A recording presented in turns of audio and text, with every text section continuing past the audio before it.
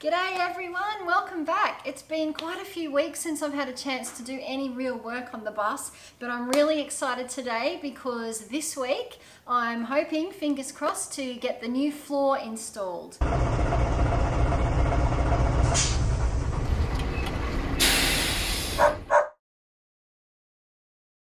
Now, the original floor in the coasters is, um, is actually two different thicknesses of plywood because the area between the wheel arches actually has a, quite a few raised sections, which means that it sits a little bit higher than the rest of the floor frame. So in the original coaster floor, the majority of the floor is actually made just from 12 mil plywood, and then that section between the, the rear wheels is um, 5 mil, I believe, in the original coasters. And most people, when they replace the floor, just replace it with the same thickness. So that never really sat well with me because when you look at the thickness of a 12 mil sheet of ply, it's really not that thick at all. Um, and a lot of people argue, well, it's good enough for the original bus. You know, Toyota thought it was good enough for the original bus. It'll be good enough for my motorhome. Um, but when you think about the, per, the original purpose of the coaster, it wasn't designed to be screwing cabinets and um, bolting fridges into the floor or people walking up and down, um, you know, in the middle of the floor all day. It was designed for people to just come in and out of the bus and sit down in the seats. And if you actually look at where the seats are bolted in the in the coasters, the bolts all are not just bolted into the floor. They actually go into parts of the steel frame underneath or reinforce sections of the wall. So the actual floor of the, the original floor in the coasters was not actually supporting very much. Um, but anyway, a lot of people have done just the 12 mil and are happy with it. For me personally, I just wasn't comfortable with having, you know, the floor, which is going to be the foundation of my future house, being so thin. So I had the, the dilemma of trying to find, you know, a, a floor that was going to be strong enough and that I was comfortable with um, without adding too much weight. So I agonized for quite a while about how I was going to do this. Um, in the end, I've decided the main area of the floor, I'm actually going to use 18 mil instead of 12 mil. And in the area between the wheel arches, I'm going to use 12 mil instead of 6 mil. So basically my floor is going to be about 6 mil thicker uh, than the original floor was. Now that is going to add more weight. There will be people that think it's overkill, um, that I'm making a mistake, adding too much weight in the bus when it's not really necessary. I hope that's not the case. I hope I don't come to regret it uh, down the track when I finish the build and see how much the bus weighs, but I don't think so. Um, you know, I think the floor is pretty important part of the build and I want to make sure I get a good solid foundation. So that's what I've decided to go with and we'll just see how we go with that. Got my worksite supervisor with me today. He's actually not quite that happy about being on site, but say hello, Pepper. Hello. I've decided I'm going to reinstall the passenger seat that was here and because I want to be able to use the exact same mountings and the same bolts and everything that were originally in the seat um, I'm actually going to be doing this piece in 12 mil so it'll be the same thickness as the original floor just so that the bolts and everything will um, tap back nicely into that space.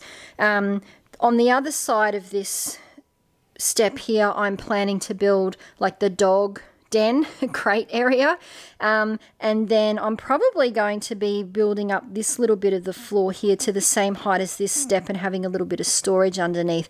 So this whole section here, when the build is done, will actually be hidden underneath storage um, under the seat here and storage so it won't actually you won't be able to notice that this first bit of the floor will be 6 mil lower than the rest because it's actually all going to be built in.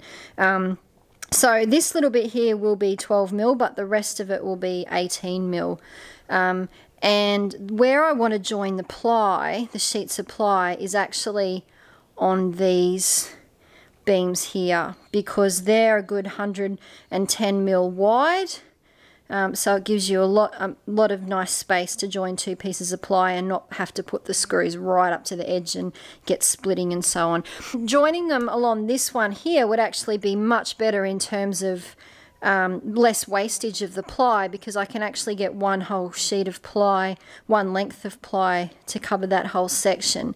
So I'd actually only need two sheets of ply to do this and then maybe a third one up there. Whereas to do it this way, I actually had to buy four sheets of the ply which is a bit more expensive. Um, but I just I did it that way because I think if I tried to join it on here these are only about 45 mil wide. Um, and I think it's just not quite enough in my mind. It would be better to you know I'd have to screw quite close to the edge of the ply which would probably be fine but I'd much rather do it over here where I've got a lot more uh, space to play with.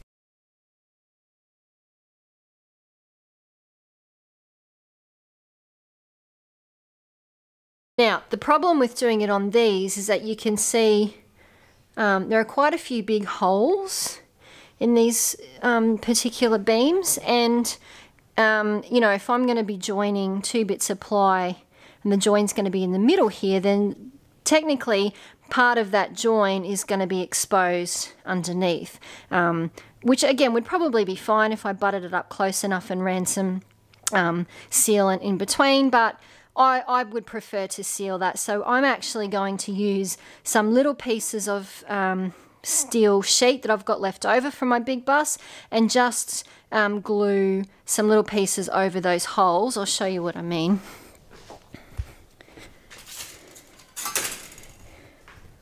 So I've just cut, a, you know, used a bunch of offcuts that I had left over from when I did the big bus. Um, this is not the piece that will go on this particular hole, but you get the idea. Um, so I'll be able to cover those up. Now this is less than a mil thick, um, this sheet, so um, you know, once it's glued down, it's not going to make it much difference at all when I screw the ply down onto that. Um, but you can see now that join will be um, supported the whole way along. Okay, so I've covered all the holes where I'm going to want to join my pieces of ply. Um, I just stuck it down with Sika. No one's going to see this, it's going to be under the floor, so it's as rough as guts, but it doesn't matter. Um, all the holes are nicely covered, so now when the ply joins along here, um, there's not going to be any gaps. Again, some people will think this is overkill, but you know, it's just the way I want to do it. So I'm going to wait for the Sika to dry now um, and then I'm going to come back and I'm going to start measuring uh, the sections of ply that I need to cut. And you can see here I actually kept the original pieces of ply um, from the floor so I can use those as templates hopefully. Is my plan. Okay, so I've got all my template pieces in position. So these are the pieces of the original floor that I have left over that I kept specifically because they they had the curved pieces and funny sort of shapes so I can use them as templates. And I've tweaked them a little bit uh, because you can see the original floor the way they they joined the pieces together was actually like with a, a, a kind of a I don't know it's not really tongue and groove but um, a, a tongue and groove sort of thing that they'd done. I'm not going to be doing that I'm just going to be butting them up against each other. So I've just combined a few pieces, tweaked them a little bit to fit in where I want the joins of my ply pieces to go. So now I'm going to trace these onto my new ply uh, and cut them out. Hopefully, fingers crossed without making too many mistakes because uh, this stuff is expensive. And if I have to buy another sheet of that because I've uh, stuffed up a cut, it will not be very much fun.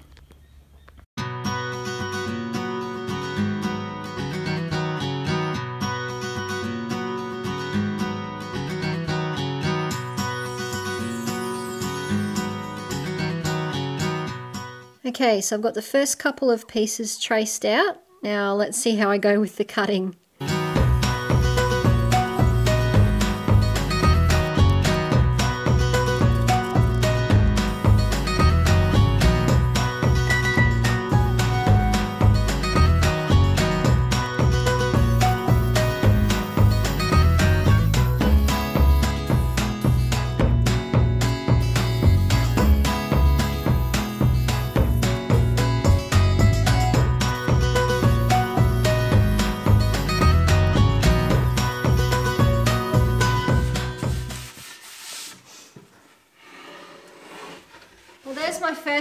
Cut out. Uh, it's a little bit rough, but given that I'm not used to using a jigsaw, and I think I started with the trickiest piece, um, but I'm pretty happy with that. Now, the big question is, is it going to fit in the bus?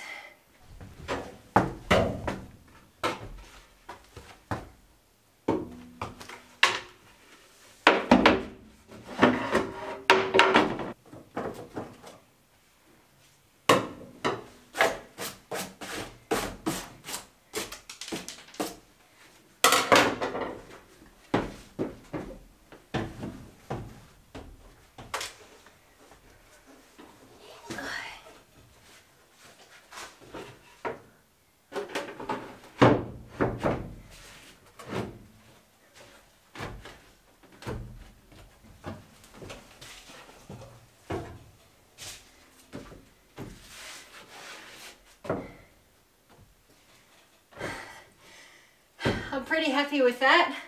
Um, it's not going to win any neatness awards, but um, it fits pretty well. Uh, the test will be when all the other pieces are in, of course. So now that I've got the first one down, it's time to cut out the rest.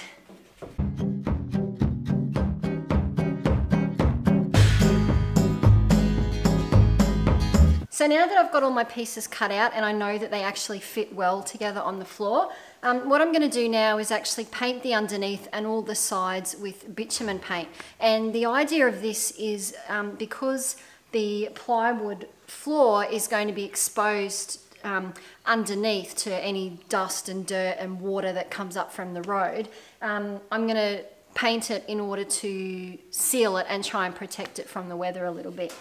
Um, and this is the stuff I'm going to be using. This one is a different brand to the stuff that I used on the big bus, um, but I thought I'd give this one a go this time and see how it is. Um, so my plan is to paint, uh, just sort of prime the plywood first with a coat of this mixed with some water, and then I'll do another much thicker coat of this over the top, and hopefully that'll be enough. And then once that's dry, I'll be able to put all the sheets back into the bus and glue and screw them down into the frame. So you can see this stuff is just ridiculously thick, even after rigorous shaking and stirring. It's still like got the consistency of peanut butter. Um, and it's going to be really hard to paint it like that. Um, um, it does say on the tub that you can use it to prime porous surfaces by diluting it with a little bit of water. So I've done that here. Um, so I've put, put some of the paint in with a little bit of water and given it a good stir. So it's obviously a lot thinner now. I'll be able to paint this on.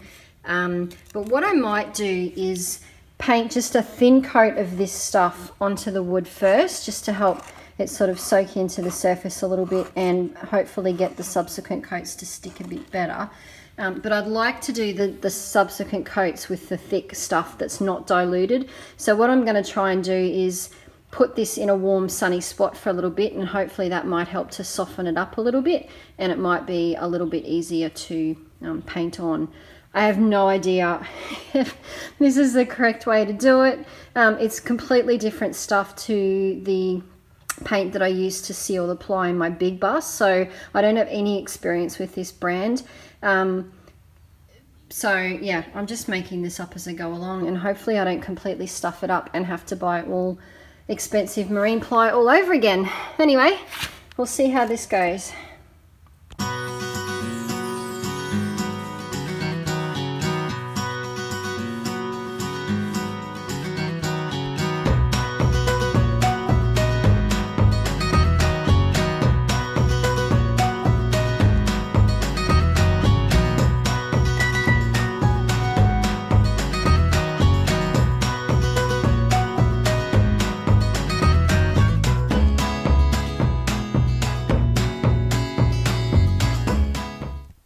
This is after just painting one coat of the um, diluted bitumen paint. Um, it's pretty crappy stuff to work with.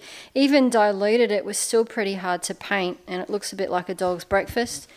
Um, but you know, I don't really care because you're not going to see it. And this is just the initial first thin coat just to help um, sort of seep into the wood a little bit. The next couple of coats I'll apply quite a bit thicker, hopefully. But this is as much as I'm going to do today. I'll let that dry and I'll come back tomorrow and uh, try another coat. So this coat I'm painting much thicker. I've basically just added only enough water to get it to um, be the consistency that I can use the paintbrush, but it's pretty thick.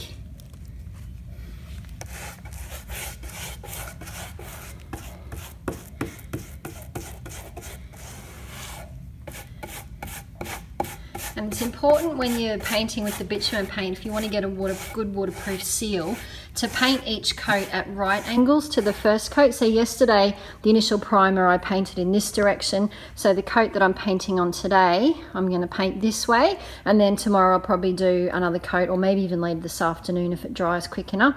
And I'll do another coat going this way. But this, you can see this coat's going on much, much thicker.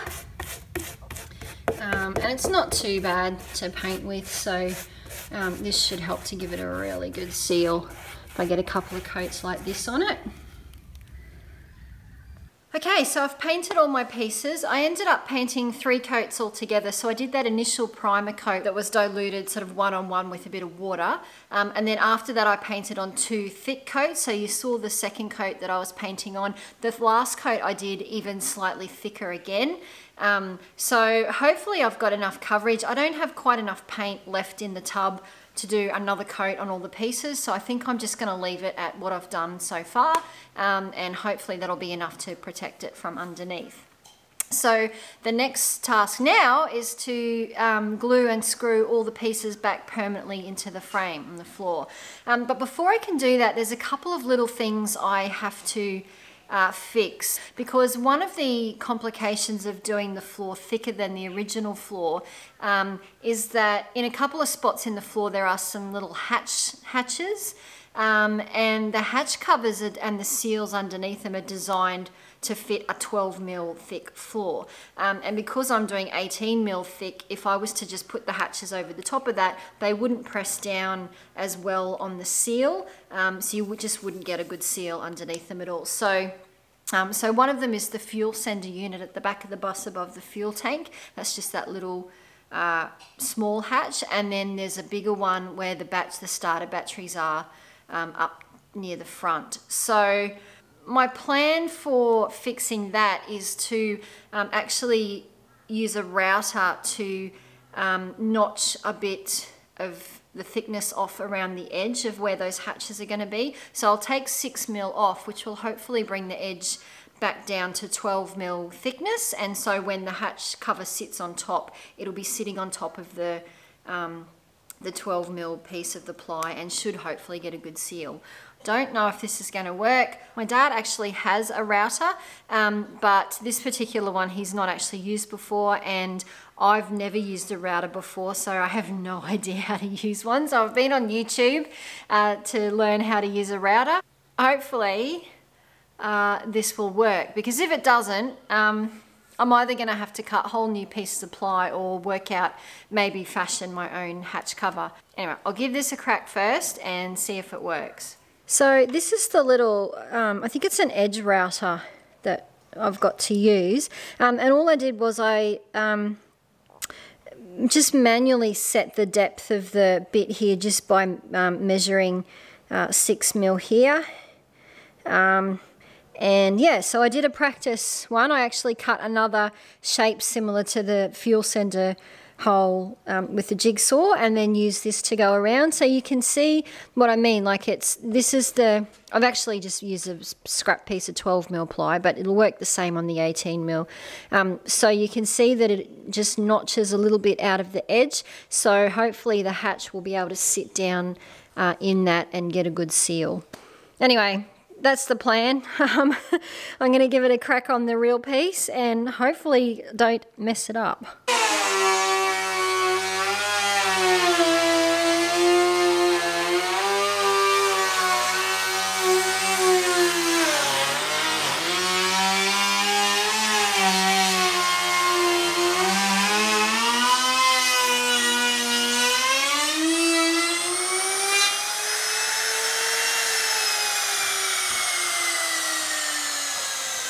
So this is what I mean. This is the piece, this is the fuel sender hatch here and the lid that's got to go, uh, I think it goes that way, um, on top gets screwed down into that. Oh, hang on, other way. um, yeah, so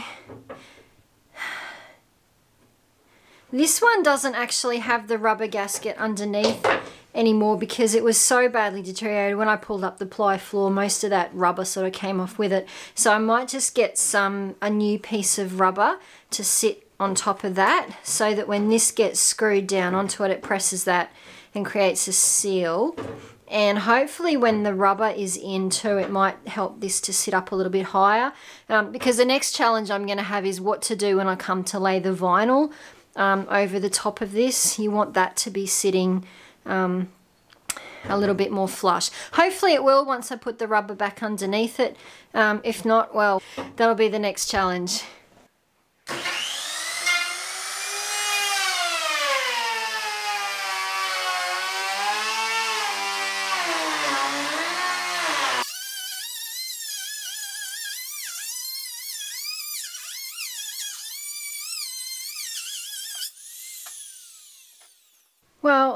So much for that plan. Um, it worked okay on the fuel sender hatch up the other end because it's um, the hatch lid itself was pretty much the exact same size as the hole and it just worked out. Um, but it's not going to work at all here. Um, obviously, now I cut when I cut this hole out, I did it to the exact same shape as the template, so the original floor. Um, but I've just realised when you put the hatch over, they obviously did not, um, this hole that they had was just to accommodate the seal and it's not actually the exact same shape as the hatch. So I was hoping that the hatch would just sit nicely on this um, etched out level, um, but it actually doesn't. It's, it's still, like if I was going to, going to do it that way, I would have to cut like notch quite a bit more out of the edge um, and there's a couple of problems with that. Firstly, I don't think I can do that with the particular router. Well, certainly not the, the bit that I was using um, because that's as far in as it goes. I don't know how to take like an, an extra width off this without um, cutting this off. And also,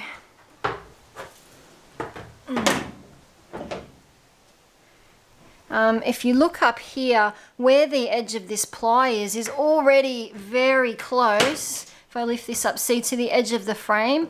And if I was to take this back any further, then it wouldn't actually be, uh, it'd be, it wouldn't be sitting on the frame in that section. Um, so, I need to come up with some other plan for this blasted battery hatch.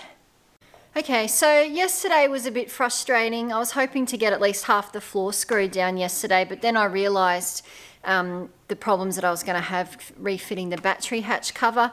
So that put a bit of a spanner in the works and I had to spend some time thinking about how I was going to fix that.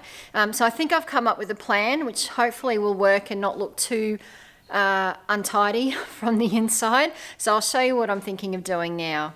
So what I'm going to do is most of this piece here I will keep as the 18 mil thickness and I'll just cut it so that it joins on this um, beam here and then this little piece here under the hatch and all the way up to that join I'll do in 12 mil um, and that way the hatch should just sit and lock nicely into that like it did with the original floor. Um, what it will mean is that this little rectangle of floor will be a little bit lower than the rest of the floor. Um, so essentially the hatch will be kind of indented into the floor, which will look fine.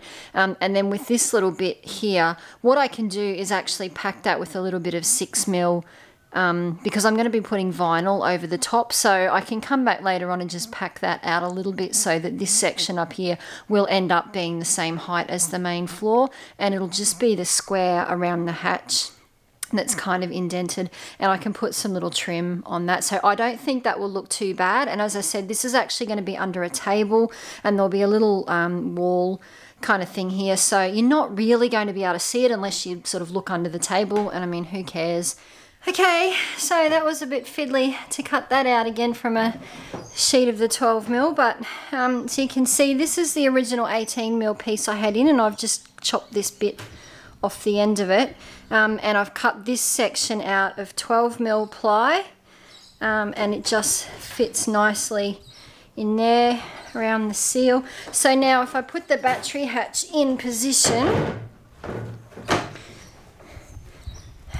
so that's actually where the battery hatch will sit and you can see now it's sitting flush with the floor and it's got a good seal underneath. So you can see what I mean about this section now being just a little bit lower than the main floor. Um, but try and imagine this covered in vinyl too so it'll look a little bit neater. Um, so what I'm thinking of doing is just getting a little six mil piece um, to fit in there so this section here will actually end up being the same height as that and covered in vinyl and then I can just get a little piece of aluminium trim, tile trim or something to trim that out. So I think it'll look okay when it's all finished um, but at least now the hatch fits beautifully and seals up nicely so Oh, so now I've just got to paint the trim, paint this piece and the edges that I've cut off this one, and then we'll finally be ready to start screwing it all in. So the way I installed the ply was basically just to clean all the dust and dirt off the frame and then I applied Sika adhesive. I actually used um, Sika 221 which I've used a lot before and it's pretty good. Um, so I put a generous amount of the Sika onto the frame and then stuck the boards down on top of that. And then once they were glued in position, I was happy with where they were sitting. Uh, I then screwed them down. So I used a hammer and a nail first just to mark where I wanted the screws to go. Um, and it also helped create a little indent to get the screw started. Um, and then I screwed them in. Now some of them went in really easily, some of them didn't. I had to pre-drill um, a few of them because it was quite hard getting the screw through some sections of the metal frame. I also had to consult my map that I'd drawn of the floor frame a few times just to make sure I was actually putting the screws into the beams underneath the floor because obviously once the floor's down it's a bit hard to see where the frame is underneath. Well, the floor is in. oh, I'm so glad to have this job finished. Um, this was actually way harder than it was putting the floor in in my big bus. Because um, with the big bus, it was the, the frame that the floor screwed into was well above all the um, mechanics and hoses and things underneath the floor. So, and it was just a matter of, you know, cutting straight rectangular pieces and screwing them in. This floor had so many different sized pieces and curves and holes and things I had to cut out. You know, it was a bit like trying to fit a jigsaw puzzle. Um, and then with this bus also, you have to be really careful where you're putting the screws because there are actually a lot of cables and wires um, and there's like a fuel tank directly below the floor.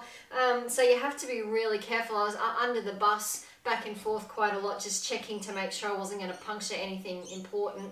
Um, and again, this is where keeping the original floor for templates came in handy because I was able to see where Toyota had put the screws, so I was able to sort of stick fairly close to um, where they had the original screws. Um, anyway, it's all screwed down. Hopefully I didn't hit anything important underneath.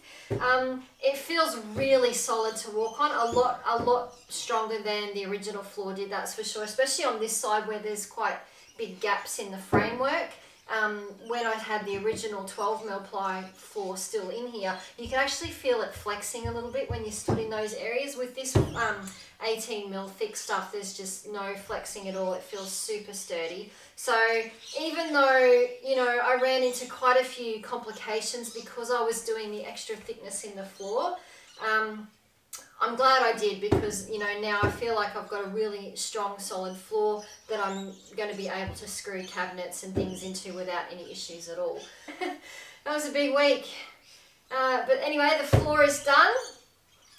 And so that's a big job ticked off. And now I need to start thinking about what to do next. It's probably going to be uh, the windows or maybe the roof. I'm just going to enjoy a couple of days off now.